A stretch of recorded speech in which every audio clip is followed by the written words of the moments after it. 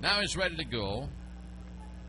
So is Marco, and his first is in for a strike fastball.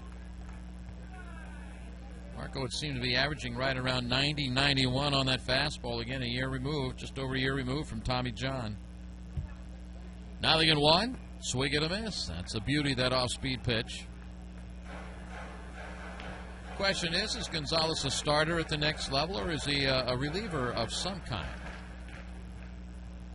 Flexibility with him. 0 2.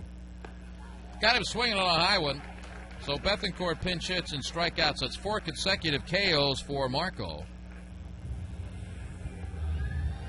Give him six. Last night, Luke Weaver struck out a Redbird season high nine batters in seven plus innings of work.